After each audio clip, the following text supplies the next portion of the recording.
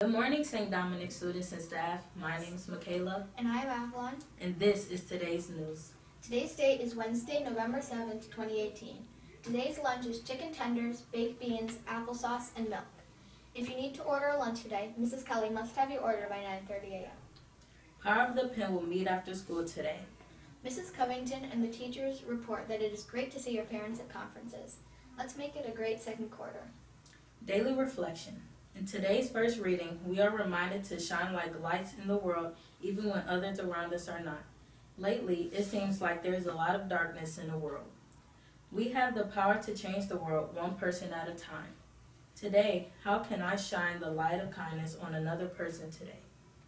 That concludes today's announcements. Let us begin the day together saying the Lord's Prayer. In the name of the Father, and of the Son, and of the Holy Spirit.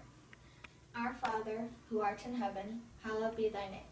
Thy kingdom come, thy will be done, on earth as it is in heaven. Give us this day our daily bread, and forgive us our trespasses, as we forgive those who trespass against us. And lead us not into temptation, but deliver us from evil. Amen. In the name of the Father, and of the Son,